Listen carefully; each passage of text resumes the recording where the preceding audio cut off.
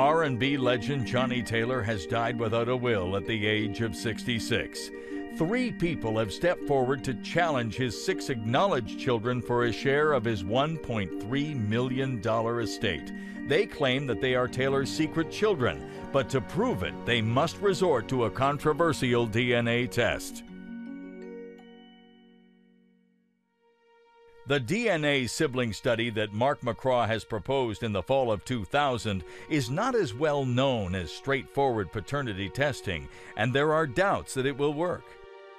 The alternative is to dig up Taylor's grave and exhume his corpse.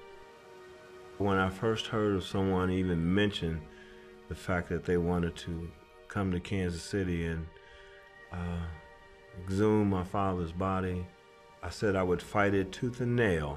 To prevent the exhumation of her father's corpse, Johnnie Taylor's eldest daughter Sabrina agrees to provide a sample of her DNA.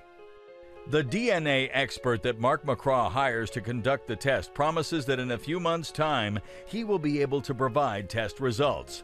Anticipating a conclusive answer, Judge DeShazo sets a hearing date for December 20th, 2000. But the judge's optimism will not be rewarded. The DNA testing takes far longer than expected, and with every delay, bills continue to pile up. Every time we went back to a court hearing, the first item on the, the docket was the fees to be extracted from the estate for attorneys. And that was very much an irritant to me. Anthony's anger is shared by his younger brother Floyd. Floyd makes the decision to confront Fonda personally in an effort to establish some kind of relationship with her.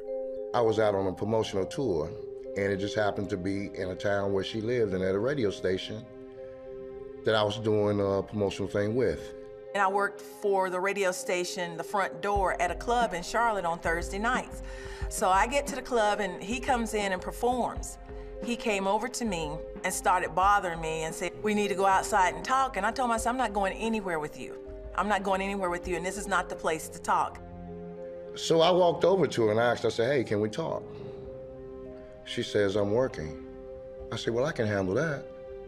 So I goes over and I talk to her boss, and he say, hey, that's no problem. Yeah, you can talk to her. And he just kept, you know, trying to get me to go outside, and I told him no, and he just kept getting madder and madder. Meanwhile, something tells me to turn around, and I can see her waving her hands like this here. No.